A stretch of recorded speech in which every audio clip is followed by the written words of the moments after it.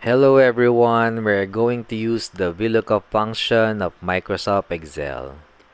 I have your sample wherein we have 36 items with the 36 rows of an employee number and employee name.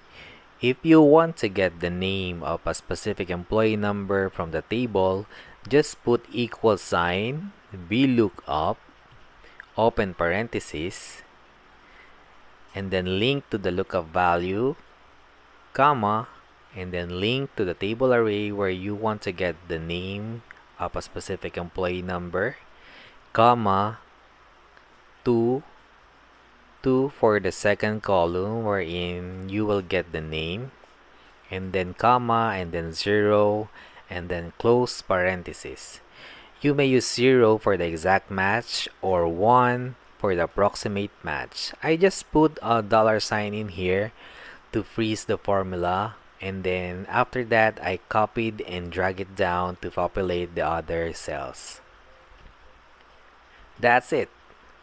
If you want more Excel tutorials, just hit the like and subscribe button. Thank you.